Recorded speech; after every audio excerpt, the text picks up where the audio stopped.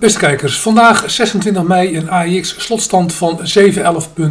En dat betekent ten opzichte van gisteren nauwelijks tot geen wijziging in het technische beeld. We zien nog steeds schoorvoetend dat de Bulls willen proberen, althans die intentie tonen ze, om op te stomen naar de beruchte rode streep op 719 ruim. Maar met de tweede zwarte candle op rij tonen ze toch wel wat vermoeidheid en lijkt het er naar uit te zien dat we voorzichtig gaan toppen. Ondanks dat de swingteller een tandje hoger noteert op plus 5. Maar ik zie de RSI als spanningsmeter wel wat weglopen naar beneden richting de 50-lijn.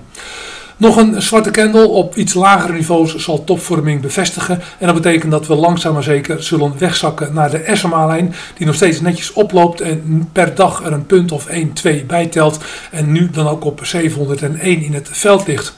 En dat betekent met deze voortgang, dat wil zeggen een matige opgaande beweging, maar wel een sterk oplopende SMA-lijn, dat het moment van een crossover, in dit geval neerwaarts, natuurlijk wel dichterbij komt. En dan hebben we wel degelijk te maken met een korte termijn downtrend.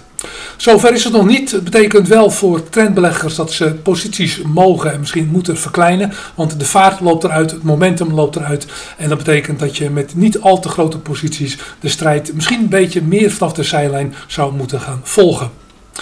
Eh, de DAX ook bijna onveranderd ten opzichte van gisteren. Kan ik kort over zijn. De rode streep op 15,538 eventjes aangetikt, maar blijft op slotbasis onaangeroerd. Ook hier de tweede zwarte candle op rij. Swingteller ook een tandje hoger, maar eigenlijk hetzelfde technische beeld. Aarzelingen bij de bulls om door te stomen. En dat mag aanleiding zijn, zeker voor trendvolgende beleggers, om wat gas terug te nemen. Ik wens u een plezierige avond.